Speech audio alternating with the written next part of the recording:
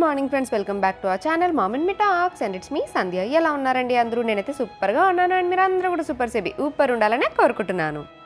మొన్న నేను వరలక్ష్మి వ్రతం చేసుకున్న బ్లౌజ్ వర్క్ చాలా బాగుందని ఎలా చేశారు షేర్ చేయమని చాలా మంది అడిగారండి. సో అదే ఇవాళ వీడియోలో షేర్ చేస్తాను అండ్ ఈ వర్క్ మనం బయట చేయించుకుంటే minimum to minimum two thousand rupees అన్న అడుగుతారండి. లిటరల్లీ ఐదు వందలు కూడా ఖర్చు కాలేదు. అంతకన్నా తక్కువలోనే ఈ బ్లౌజ్ వర్క్ ఇంట్లోనే ఆల్రెడీ స్టిచ్ చేసేసిన బ్లౌజ్ పైన చాలా ఈజీగా చేసుకోవచ్చు. లిటరల్గా ఒక్క రోజులోనే అయిపోతుందండి. సో దీనికోసం ఫస్ట్ ఈ హ్యాండ్ లోపల పేపర్ పెట్టేసుకుంటున్నా. ఎందుకంటే మనం గమ్తో స్టిక్ చేస్తాం కాబట్టి. అండ్ ఈ హ్యాండ్కి కింద సైడ్ నేను ఇలా ఆర్చ్ లాగా కొంచెం వీ షేప్లో పెట్టించానమాట ఎందుకంటే కొంచెం అరవంకి మోడల్లో అలా వస్తే బాగుంటుంది అన్నట్టుగా. మనం స్ట్రైట్గా కుట్టుకున్నా కుట్టించుకున్న కుట్టించుకున్నా ఈ వర్క్ చేసుకోవచ్చు. సో ఈజీగా ఎలా చేసుకోవాలో టిప్స్ అండ్ ట్రిక్స్తో ఈ వీడియోలో ఎక్స్ప్లెయిన్ చేసేస్తాను. So let's get started first hand వర్క్తో స్టార్ట్ చేశానండి. ఇవి ఇలాగ కుందన్ చుట్టూ వైట్ స్టోన్ ఉన్నది నాకు రెడీమేడ్గా దొరికిందనమాట యాక్చువల్గా పెద్ద సర్కిల్ దొరుకుతుందేమోనని చాలా వెతికాను. బట్ పెద్ద రౌండ్ అయితే దొరకలేదు. సో ఈ చిన్నదే దొరికితే ఇది కూడా గ్రీన్ కలరే కావాలి. ఎందుకంటే నా శారీ గ్రీన్ కలర్ కాబట్టి. ఆ గ్రీన్ కలర్ పెద్ద స్టోన్ ఉండి ఒక రెండు స్టోన్ లైన్స్ ఉన్నాయన్నమాట. అది ఎక్కడ పెట్టాలో ప్లేసింగ్ ఫస్ట్ మనం సెట్ చేసుకోవాలి. నేను ఇది భుజబందీ టైప్లో వర్క్ అనుకున్నాను. సో అందుకని ఆ సర్కిల్ కరెక్ట్గా ఎక్కడ కావాలో చూసుకొని చేతికి మనం బ్లౌజ్ వేసుకొని చూడాలి ఫస్ట్. అప్పుడు మనం సర్కిల్ ఎక్కడ కావాలి అన్న దాన్ని బట్టి మనం మార్క్ చేసుకొని స్టిక్ చేయాలి. సో ఈ కుంద నుండి చుట్టూ స్టోన్ లైన్ ఉన్నది ఒకటి ఫైవ్ రూపీస్ పడిందండి. నేను రెండు తీసుకున్నాను. విడిగా కుందన్స్ దొరికినా మనమే ఈజీగా చేసేసుకోవచ్చు. ఆ కుందన్ స్టిక్ చేసి స్టోన్ లైన్ పెట్టుకోవచ్చు. బట్ విడిగా అంత పెద్ద గ్రీన్ కుందన్ నాకు దొరకలేదు. అందుకే అది తీసుకున్నా. ఇంకా దానికి పెద్ద సర్కిల్ అవ్వడం కోసం దాని చుట్టూ బాల్ చైన్ యాడ్ చేస్తున్నానండి. మనకి వర్క్ మెటీరియల్ దొరికే షాప్స్ అన్నిట్లోనూ దొరుకుతుంది. ఇది నేను నాచారంలో హనుమాన్ టెంపుల్ వెనక సైడ్ గల్లీలో మెటీరియల్ షాప్ ఉంది అమ్మే షాప్. వర్క్ కూడా అక్కడే చేస్తారు అక్కడ తీసుకున్నాను. బాల్ చైన్ అయితే మీటర్ టెన్ రూపీస్ అండి. నేను అన్నిటివి ప్రైజెస్ కూడా మెన్షన్ చేస్తాను సో దట్ మీకు కొంచెం క్లియర్ ఐడియా వస్తుంది. రెండు లైన్లు బాల్ చైన్ స్టిక్ చేసిన తర్వాత నెక్స్ట్ స్టోన్ చైన్ స్టిక్ చేస్తున్నానండి. Stone chain meter twenty rupees అండి. ఇక్కడ బాల్ చైన్ నేను ఫైవ్ మీటర్స్ తీసుకున్నాను. అలాగే స్టోన్ చైన్ కూడా ఫైవ్ మీటర్స్ తీసుకున్నాను. ఇవి కూడా ఒక రెండు లైన్లు వేసేద్దాం అనుకున్నా. ఎందుకంటే కుందన్ చుట్టూ రెండు స్టోన్ లైన్లు ఉన్నాయి. అందుకని బాల్ చైన్ చుట్టూ కూడా రెండు స్టోన్ లైన్లు యాడ్ చేస్తున్నాను. ఇక్కడ మనం జాగ్రత్తగా చేయాల్సింది ఏంటంటే అది ఒక సర్కిల్ షేప్లోనే రావాలన్నమాట. మనం ఎందుకంటే రౌండ్ అనుకున్నాం కాబట్టి. అండ్ మీ శారీ ఏ కలరో ఆ కలర్ కుందని మధ్యలో స్టిక్ చేసుకొని కూడా మనం ఇది చేసేయచ్చు. మిగతాదంతా బాల్ చైన్ స్టోన్ చైనే కాబట్టి వాటి కలర్తో పని ఉండదు ఇలా ఇంకొక లేయర్ కూడా చేశాను. నెక్స్ట్ ఇంకొక బాల్ చైన్ అలాగా రెండు లైన్లు వేసి తర్వాత ఇంకొక స్టోన్ చైన్లు రెండు లైన్లు వేసి అలా అనమాట ఇదేంటంటే మనం స్టిక్ చేసేటప్పుడు ఒక్కొక్క లైన్కి మనం గమ్ రాసామనుకోండి నెక్స్ట్ లైన్ వేసేటప్పుడు గమ్ అంటించేటప్పుడు ఆ ఫస్ట్ అంటించింది అప్పుడే డ్రై అవ్వదు కదా సో అది కదిలిపోతూ ఉంటుంది. అందుకని గ్లూ రాసుకునేటప్పుడే ఎంత సర్కిల్ కావాలో మనకు ఆల్రెడీ ఐడియా ఉంటే అంతవరకు మొత్తం ఇలాగా గ్లూ అప్లై చేసేసి అన్ని సర్కిల్స్ ఒకేసారి పెట్టేసుకోవచ్చు. లేకపోతే అది ఆరక ముందే మనం కదుపుతూ ఉంటే అది కొంచెం అటు ఇటు వెళ్ళే ఛాన్స్ ఉంటుందన్నమాట. సో అందుకని మీరు వీడియోలో చూసినట్లయితే గ్లూ కూడా నేను మూడు లైన్లకు సరిపడా అంతా అప్లై చేసుకున్నా సో సేమ్ అలాగే బాల్ చైన్ ఒక మూడు లైన్లు మళ్ళీ స్టోన్ చైన్ ఒక రెండు లైన్లు స్టిక్ చేసేస్తున్నాను. అండ్ ఓన్లీ గమ్తోనే అంటిస్తున్నారు వాష్ చేసినప్పుడు ఊడిపోవాలని చాలామంది అడిగారండి. నేను చాలా వర్కులు చేశాను గమ్ అంటించి అలాగా. వాష్ చేస్తే ఏది ఊడిపోలేదండి ఇప్పటి వరకు బట్ అలానే విగ్రస్గా వాష్ చేసేయకూడదు. అండ్ అలాగే నేను స్వెట్ ప్యాడ్స్ యూస్ చేస్తా సో అందుకని వేసుకున్న ఒక్కసారికి వాష్ చేసేయాల్సిన అవసరం రాదు. సో ఇలాంటి వర్క్స్ వాటన్నిటికీ కూడా స్వెట్ ప్యాడ్స్ యూస్ చేసి అవసరం అయితేనే వాష్ చేయడం బెటర్. ఎందుకంటే beads chain gold beads chain water తగిలితే త్వరగా నల్లగా అయిపోతుంది అనమాట నెక్స్ట్ ఇప్పుడు సర్కిల్ పర్ఫెక్ట్ షేప్లో మంచిగా వచ్చిందండి. కరెక్ట్గా సెంటర్ చూసుకొని అంటించాలి. నెక్స్ట్ ఇలా ఒక బీడ్స్ చైన్ యాడ్ చేశాను గోల్డ్ బీడ్స్ చైన్ ఇవి క్లిప్ స్టోన్స్ అని దొరుకుతాయండి. ఇవి నేను స్క్వేర్ షేప్ తీసుకున్నాను. మనకి ఇవి తులం ట్వంటీ రూపీస్ అంటే టెన్ గ్రామ్స్ ట్వంటీ రూపీస్ అనమాట ఈ స్క్వేర్ షేప్ ఏంటంటే కొంచెం వెయిట్ ఎక్కువ ఉంటాయి అండ్ అలాగే క్లిప్ ఉంటాయి కాబట్టి కొంచెం సైజ్ కూడా ఇది కూడా రకరకాల సైజెస్లో దొరుకుతుంది. సో మనం చూసుకొని తీసుకోవాలి మన బ్లౌజ్కి ఏది కావాలి అన్నది. ఇవి కొంచెం వెయిట్ ఎక్కువ ఉండి మనకి ఎక్కువ క్వాంటిటీ రావు. నేను ఫస్ట్ నాలుగు తులాలు అంటే నలభై గ్రాములు తీసుకొచ్చాను బట్ అవి సరిపోక మళ్ళీ వెళ్ళి ఇంకొక రెండు తులాలు తీసుకోవాల్సి వచ్చింది. సో టోటల్గా నాకు sixty grams of square clip stones సరి పట్టినాయండి ఈ బ్లౌజ్కి. సో అందుకని మీరు మీ సైజ్ ఒకవేళ నా చెయ్యి చిన్నది కాబట్టి తక్కువ పడింది. ఇన్ కేస్ మీరు ఇంకా కొంచెం హెల్దీగా ఉంటారు చెయ్యి సైజ్ పెద్దది అనుకుంటే ఇంకొక ట్వంటీ గ్రామ్స్ అలాగా ఎక్స్ట్రా తీసుకొని పెట్టుకోవడం బెటర్ నార్మల్ కుందన్స్ అండ్ చిప్స్తో పోలిస్తే ఇవి కొంచెం రేట్ ఎక్కువ అని చెప్పచ్చండి. బట్ ఇవి కొంచెం బాగుంటాయి చూడడానికి బాగుంటాయి సేమ్ మగ్గం వర్క్ చేయించినట్టుగా వస్తాయి అనమాట సో బీడ్స్ లైన్ పెట్టేశాను కదా దానికి పైన కింద ఈ స్క్వేర్ షేప్వి అంటించేస్తున్నాను. స్క్వేర్ షేప్వి ఇలా పైన కింద ఒక లైన్ అంటించిన తర్వాత నెక్స్ట్ నేను తీసుకున్నాను సేమ్ ఇలాంటి క్లిప్ స్టోన్వే డ్రాప్ షేప్ అనమాట అంటే మనకి ఇలాగా లీఫ్ లాగా వస్తుంది. దీనిలో కూడా మనకి సైజెస్ ఉంటాయండి. సో మనం చూసుకోవాలి మూడు పెట్టుకొని చూసుకోవాలి. అంటే మన ఈ స్క్వేర్ దాని పైన ఈ డ్రాప్ షేప్ది పెడుతున్నాను నేను. సో మనకు సైజ్ కరెక్ట్గా చూసుకుంటే తెలుస్తుంది. ఇది కూడా మనకి టెన్ గ్రామ్స్ ట్వంటీ రూపీస్ అండి. ఇవి నాకు మొత్తం నాలుగు తులాలు పట్టినాయి. అంటే ఫార్టీ గ్రామ్స్ పట్టినాయి. స్క్వేర్ దాంతో పోలిస్తే ఇవి ఇంకొంచెం క్వాంటిటీ ఎక్కువ వచ్చినాయి. గమ్ పెట్టి మనం ఈ క్లిప్ స్టోన్ని అక్కడ పెట్టి కరెక్ట్గా మనకి షేప్ అంటే అది మనకి డ్రాప్ షేప్ కాబట్టి స్ట్రైట్గా వచ్చేలాగా చూసుకొని పె- అంటే మన వేళ్ళు కొంచెం పెద్దగా ఉంటాయి కదా వాటికన్నా. సో అందుకని ఇలా పెన్సిల్తో మనము వాటిని కరెక్ట్ పోర్షన్లో పెట్టుకొని జస్ట్ దాని మీద ప్రెస్ చేస్తే మంచిగా స్టిక్ అయిపోతుందండి. వేలుతో మనం పెడుతుంటే అది స్ట్రైట్గా వచ్చే లోపల పక్కన ఇంకో రెండు మూడు కదిలిపోతాయి అనమాట సో అందుకని పెన్సిల్ కానీ ఇట్లాంటి షార్ప్ ఎడ్జ్ ఉన్నాయి ఏమన్నా తీసుకుంటే మనకి ఈజీగా వాటి కరెక్ట్ ప్లేస్లో పెట్టచ్చు. సో డ్రాప్ షేప్ అన్నీ కూడా ప్లేస్ చేసిన తర్వాత ఈ రౌండ్ షేప్ తీసుకున్నానండి. ఇవి కూడా క్లిప్ స్టోన్సే రౌండ్ షేప్ చిన్నవన్నమాట. సో ఇవి ఏంటంటే ఆ డ్రాప్ షేప్ పైన ఇవి స్టిక్ చేస్తున్నాను.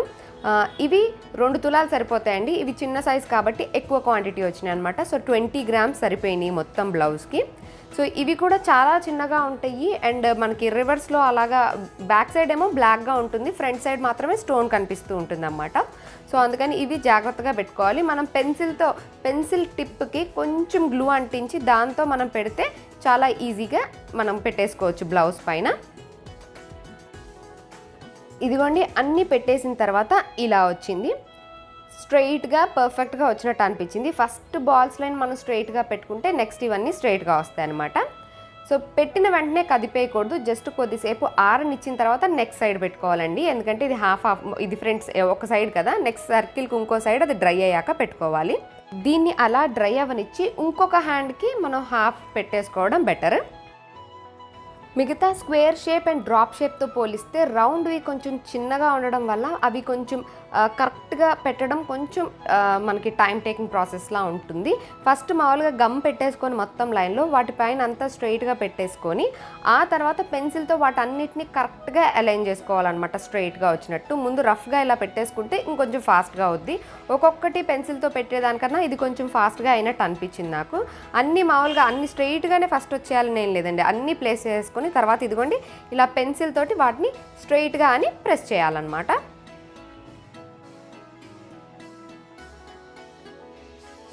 నెక్స్ట్ మధ్యలో మనం పెండెంట్ లాగా ఒక సర్కిల్ ఇచ్చాం కదండి వాటికి కొంచెం హ్యాంగింగ్స్ లాగా ఉంటే బాగుండు అని అనిపించింది.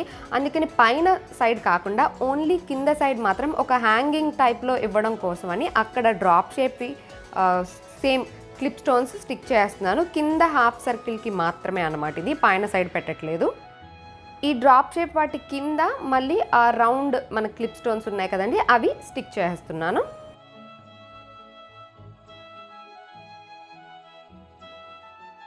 ఇదిగోండి హ్యాండ్ అంతా ఇలా భుజబందీ మోడల్లో వచ్చేసింది. సేమ్ రెండు హ్యాండ్స్కి ఇలా చేసేసాను.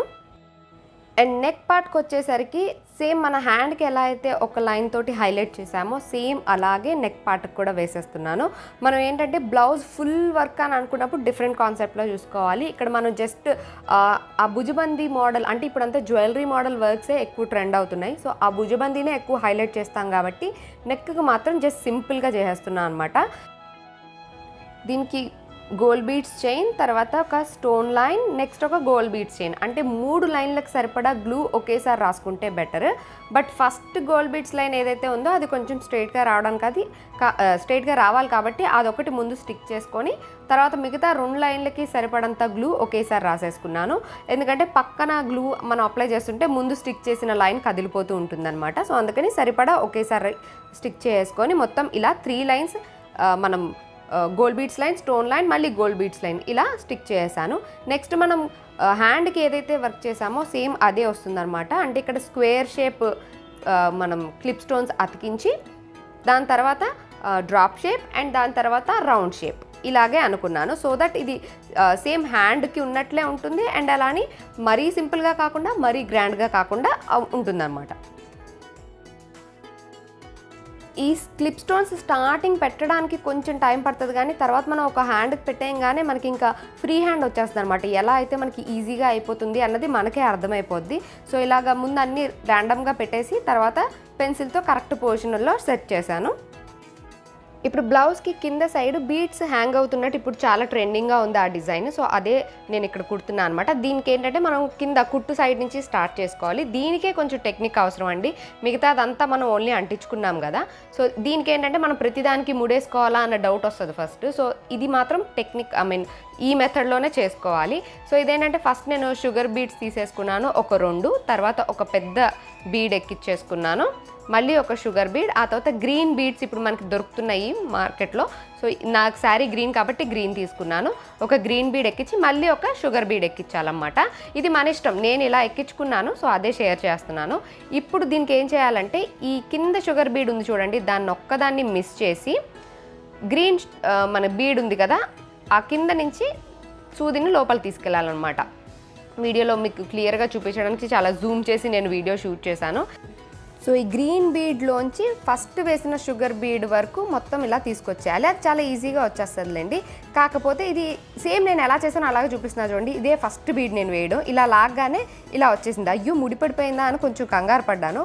బట్ ఏం లేదు. మనం ఆ లాస్ట్ బీడ్ని కొంచెం అంటే మనం దాని కింద నుంచి ఇలా వెళ్తుంది కదా. సో దాన్ని మళ్ళీ ముందుకు లాగి అంటే ఇదిగోండి ఇలా వచ్చేసింది. సో ఫస్ట్ది వేసినప్పుడు కొంచెం మనం ఆ టెక్నిక్ ఏంటో తెలుసుకోవాలన్నమాట. సో కింద వేసిన బీడ్కి చుట్టూ గ్రీన్ వస్తుంది. మిగతా ఎక్కడ మనకేమీ కనిపించదు. అక్కడ మళ్ళీ ఇలాగా లోపలికి దింపేయడమే సూదిని. సో మనం ముడి వేయాల్సిన పని ఏమీ ఉండదండి. మనకి ఫస్ట్ ఒక దారం ఎక్కించేటప్పుడు ముడి వేస్తాం కదా అంతే అనమాట ఇదిగోండి ఇలా హ్యాంగ్ అవుతున్నట్టు వస్తుంది. నేను ఇంకొకటి కుట్టి చూపిస్తా మీకు కొంచెం క్లియర్గా అర్థమవుద్ది. మనకి ఎంత గ్యాప్ కావాలో ఫస్ట్ చూసుకోవాలి. నేను ర్యాండమ్గా ఇంత అని నేను నా మామూలుగా ఇలా ఫిక్స్ చేసుకున్నాను. మీకు కావాలంటే మార్క్ చేసుకోవచ్చు. నేను ర్యాండమ్గా ఇలా కుట్టుకుంటూ వెళ్ళిపోయాను. సేమ్ ఇదే ప్రాసెస్లో ఒక షుగర్ బీడ్ ఒక పెద్ద బీడ్ మళ్ళీ sugar bead green bead and మళ్ళీ షుగర్ బీడ్ ఇన్ని చెప్పాను మీకు ఏం అర్థమైందో తెలియదు కానీ వీడియోలో చూస్తే మీకు అర్థమవుద్ది. సో నాకు లిటరల్గా ఫస్ట్ ఆరు బీడ్లు కుట్టడానికి అరగంట పట్టిందండి. తర్వాత ఆ టెక్నిక్ ఒకసారి అర్థమయ్యి దారం ఎలా పట్టుకుంటే మనకి ఇలా ముడి పడకుండా వస్తుంది. ముడి అనేది పడదు కానీ మనకి బీడ్స్ చివరి దాకా రావాలంటే ఎలా పట్టుకోవాలి? ఇదంతా మనం కుడుతుంటే మనకే అర్థమైపోతుంది.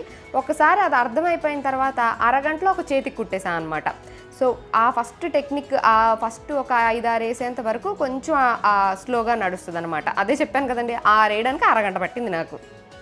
సేమ్ ఇదే ప్రాసెస్లో అన్ని స్టిచ్ మనం కుట్టేసుకోవాలి. ఇదిగోండి గ్రీన్ బీడ్. ఫస్ట్ లాస్ట్కి వేసిన షుగర్ బీడ్ని మిస్ చేసి గ్రీన్ బీడ్ లోపల నుంచి అనమాట మీకు అర్థమైందనే అనుకుంటున్నాను. ఇలా లాగేసేయాలి. ఆ దారాన్ని పట్టుకొని ఉండాలి. ఇలా పట్టుకొని లాగితే అప్పుడు మనకి చివరి దాకా వస్తుంది.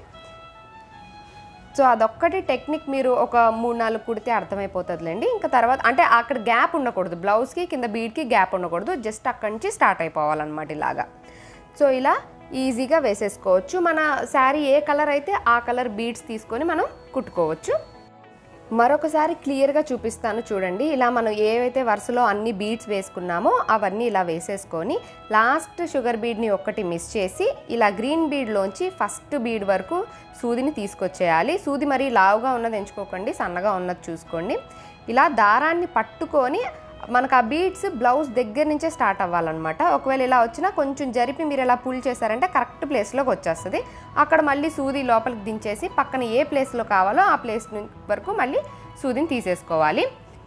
సో ఇలా మొత్తం ఆ ఆర్చ్ అండ్ బ్లౌజ్ లెంత్ అంతా కూడా కుట్టుకోవాలి. ఒక చివరి నుంచి స్టార్ట్ చేసాం అనుకోండి ఆ సర్కిల్ అంతా ఫినిష్ చేసుకొని మళ్ళీ చివరి వరకు కుట్టేసుకోవచ్చు. ఇంకా లాస్ట్కి కొంచెం కుట్టుకోకుండా ఉండడం బెటర్. ఎందుకంటే ఒక స్టిచ్ మనము లూజ్ చేసుకోవాలన్నా టైట్ చేసుకోవాలన్నా కొంచెం గ్యాప్ ఉండాలి కాబట్టి మరి చివరి కుట్టి వరకు కుట్టకుండా జస్ట్ ఒక రెండు బీట్స్కి సరిపడా ప్లేస్ని అయితే వదిలేశాను.